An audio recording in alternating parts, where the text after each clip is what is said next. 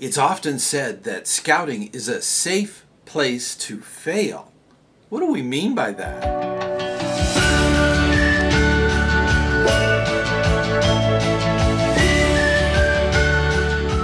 Hey, Scouter Stan.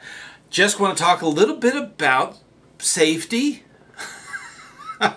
uh, that is our primary goal as adult leaders. Our goal is to make sure of the safety of our youth. Uh, whatever we're doing, whatever activity we're doing, safety is the key. Now, you've heard the saying that scouting is a safe place to fail. That has nothing to do with physical safety, okay? It has a lot to do with development. We're in a youth development program uh, where we're educating youth on leadership skills. And you do learn more from failure than you do from success. Uh, success you take for granted. You just stow it away in your backpack.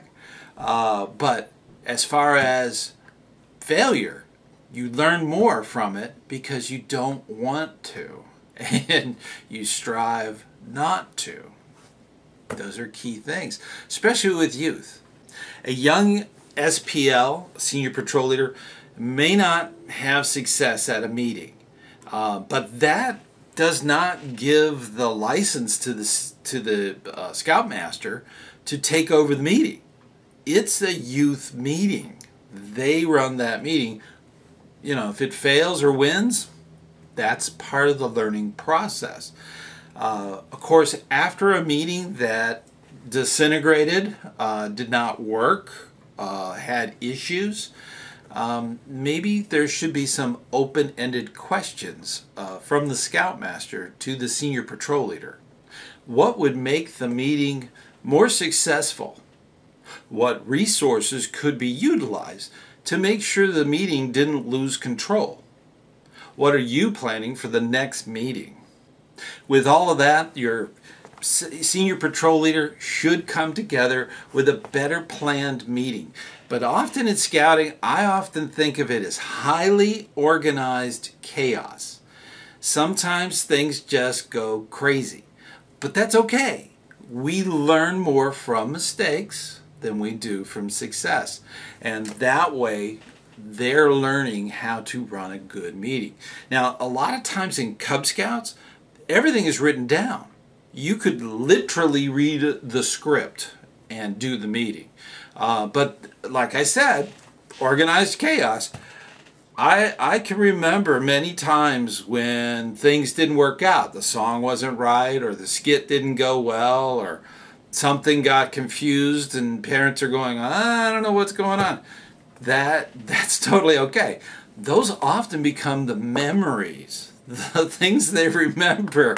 I can remember a Halloween where I came out as the Cub Master, as Cub Master Shrek. Now, if you're familiar with the movie and all those characters, we had we we did a themed thing. Well, the thing was is that I came out and I had a paper mache green head on my shoulders. I couldn't hear anything and I couldn't see anything. It was this far away and there were little holes, but they were so far apart I could only see through one. It was a it was it was crazy. And the idea was is that I was to come out and hand out candy. Well, the first thing they saw me, they instantly, all I could hear through the muffled head of this thing was, it's a pinata. So they basically rushed up onto me beating on me and I'm I'm with the candy. So I'm throwing the candy, not thinking the parents are, are the target. Chaos. To this day, I have scouts who remember that beating. It was all the best intentions, but it just went nuts. So you kind of have to take it with um, as everything goes, you have to adapt and adjust. And that's really, really important. Um, you do your best, huh? Cub Scouts, do your best. Um, that's that's all we can do, and we try to be as be prepared as possible. So these are things to think about as an adult leader. Don't get upset when things go bad. A lot of times it turns out, um, you know, no one got hurt. I got a little bruised, but that's okay. it was my mistake. So, but uh, you know, scouting is one of those wonderful things that uh, we often think about later on. Um, you know, when we're no longer doing that position, and I have very fond memories of my time and uh, seeing my son succeed in, in, in Cub Scouts and in the troops. Uh, I, I just it was fantastic. It was something that we experience as adult leaders. And I know you do a great job. So please keep up the good work. Uh, we're doing good work, and it's important work. So keep it up. And uh, from Cubmaster Shrek, I, uh, I, I wish you all the best. And I, and I know you're doing a great job, but I know I'll see you on the trail.